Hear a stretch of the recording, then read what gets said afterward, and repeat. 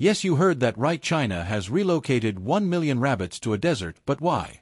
Well, they want to change the landscape. In a world grappling with relentless environmental crisis, few challenges are as urgent as desertification. The Dalad Banner Desert Reclamation Project has not only transformed once desolate landscapes but also sparked a global movement toward ecological restoration. It goes to show what human ingenuity and determination can achieve inspiring similar efforts across the world in the fight to reclaim lost ecosystems. Today we're diving deep into the story of how Dalad Banner became a game share. Let's get started. Dalad Banner's Environmental Revolution Desertification, the process by which fertile land turns into barren desert, is one of the most pressing environmental crises the world faces today, according to the United Nations Convention to Combat Desertification, or UNCCD.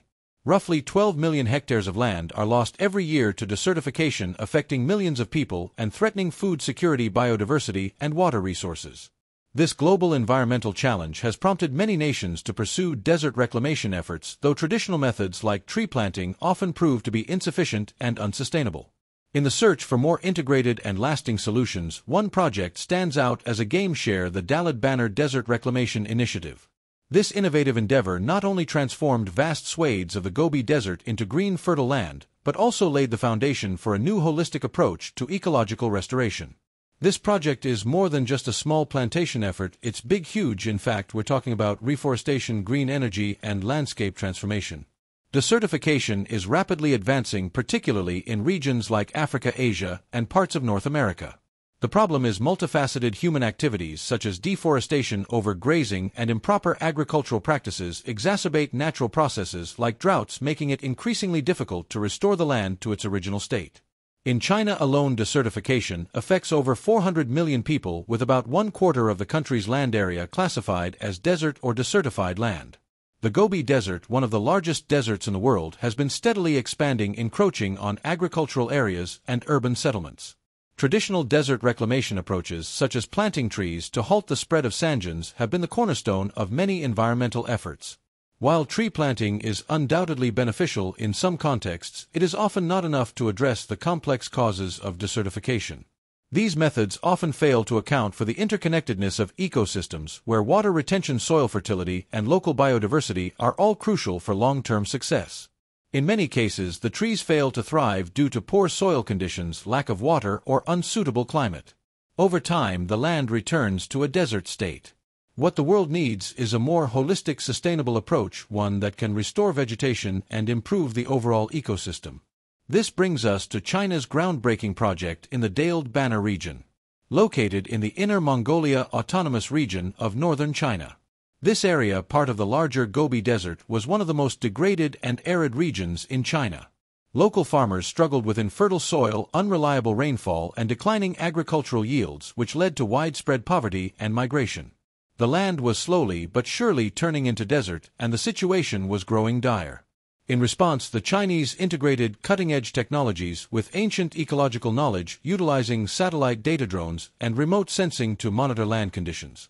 They introduced a multi-pronged strategy that included soil restoration, water conservation, and the introduction of native plant species.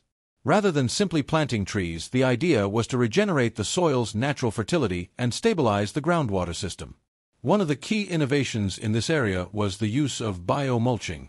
This process involves spreading organic matter over the land to protect the soil from wind erosion, retain moisture, and create a fertile environment for plants.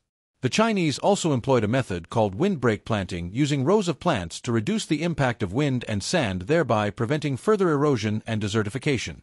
By 2010, the project had begun to show remarkable results over 15,000 hectares of land had been successfully restored with native plants beginning to flourish where once there had been only sand and dust. The success of the Dalad Banner project attracted attention from both government agencies and environmental organizations. In 2014, the project expanded further and this initial work became an international case study for sustainable desert reclamation. The Dalad Banner Initiative has had a profound impact on global desert reclamation efforts. Countries in Africa, the Middle East, and Central Asia facing similar issues with desertification began to take notice. This integrated approach provided a scalable solution, and many nations reached out for collaboration, sharing knowledge and resources. One of the most notable international projects influenced by Dalad Banner's success is the African Union's Great Green Wall Initiative launched in 2007. This ambitious project aims to combat desertification and land degradation by creating a mosaic of green spaces across the Sahel region of Africa. Drawing inspiration from the Dale Banner Project, the Great Green Wall aims to restore 100 million hectares of land by 2030.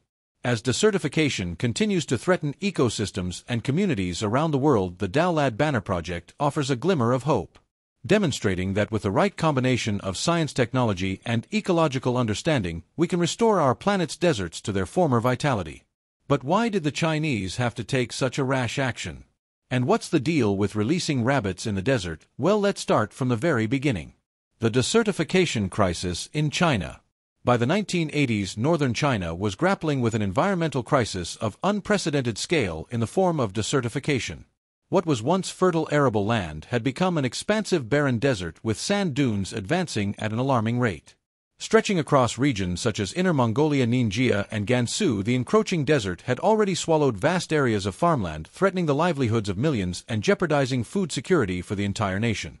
According to the United Nations Convention to Combat Desertification, or UNCCD desertification, affected around one quarter of China's landmass during this period. The most severely impacted areas were located in the northern and western regions of the country, particularly in the Gobi Desert, one of the largest deserts in the world, and in the Loess Plateau. These regions, already semi-arid to arid, were slowly turning into vast swathes of sand and dust. A combination of human activity and natural factors caused this drastic change. Deforestation, overgrazing by livestock, and unsustainable farming practices were the primary contributors to soil erosion the delicate topsoil stripped of vegetation became highly susceptible to wind erosion, resulting in the spread of sand dunes. Meanwhile, the harsh climatic conditions in northern China, including long periods of drought and low annual rainfall, further aggravated the situation. In addition, as the desert spread rivers and lakes began to dry up, compounding the problem and making it harder for people to maintain agricultural practices. The environmental impact was striking. Barren land replaced once fertile agricultural fields, while the advancing dunes buried farmland villages and infrastructure. Not only was the land itself becoming unproductive, but local biodiversity was rapidly declining. Native vegetation struggled to survive, and the loss of forests and plant life had cascading effects on local ecosystems, leading to further soil degradation. Water sources became scarce, exacerbating the challenges for local farmers who depended on irrigation for their crops. The ecological consequences were not confined to the local area. By the mid-1980s, the rapid spread of desertification had reached beyond the affected regions, contributing to worsening dust storms and environmental pollution. Cities like Beijing, located far from the deserts, were plagued by seasonal dust storms that originated from the expanding Gobi Desert. In 1983, a particularly severe dust storm resulted in thick clouds of sand and dust reaching as far as Japan and Korea. Faced with such an extensive crisis, the Chinese government began implementing various traditional reforestation efforts in a bid to combat desertification. These included large-scale tree planting campaigns aimed at greening the affected areas, halting the spread of sand dunes, and revitalizing the soil. The idea behind these initiatives was that trees, particularly drought-resistant species, would anchor the soil, reduce wind erosion, and increase moisture retention, ultimately transforming the barren land into more productive ecosystems. However, the limitations of these traditional methods quickly became apparent. Despite the scale of tree planting campaigns, many of the efforts failed to achieve their intended results. One of the key challenges was the harshness of the arid climate. The Gobi Desert, for example, receives an average annual rainfall of only about 194 millimeters, making it one of the driest regions in China. Even drought-resistant tree species struggled to establish themselves in such water-scarce conditions. Moreover, the soil conditions in desertified areas were poor and lacked the nutrients required for sustained plant growth. The land had become so degraded that it was incapable of supporting the growth of even hardy plant species. Furthermore, the lack of an integrated approach to soil restoration and vegetation management meant that tree planting alone could not address the underlying causes of desertification such as overgrazing and unsustainable agricultural practices. In addition to the environmental challenges, the scale and logistics of large-scale reforestation efforts proved to be unsustainable. The Chinese government's ambitious projects often relied on massive state-funded tree planting campaigns, which while well-intentioned were not always executed with the necessary expertise. In some cases, the choice of tree species was not suitable for the specific environmental conditions. For example, the introduction of non-native species disrupted the balance of the ecosystem, making the land even more vulnerable to desertification in the long run. One of the most ambitious projects, the Green Great Wall launched in the early 1980s, aimed to plant millions of trees along the northern borders of China stretching from the eastern coast to the western desert regions. While the project was seen as an attempt to create a protective barrier against the encroaching desert, its effectiveness remained limited. High rates of tree mortality coupled with a lack of attention to broader ecological factors like soil fertility water management and community involvement led to only partial success. In response to the growing recognition of the limitations of traditional methods, Chinese environmental scientists and policymakers began to explore new ways to combat desertification.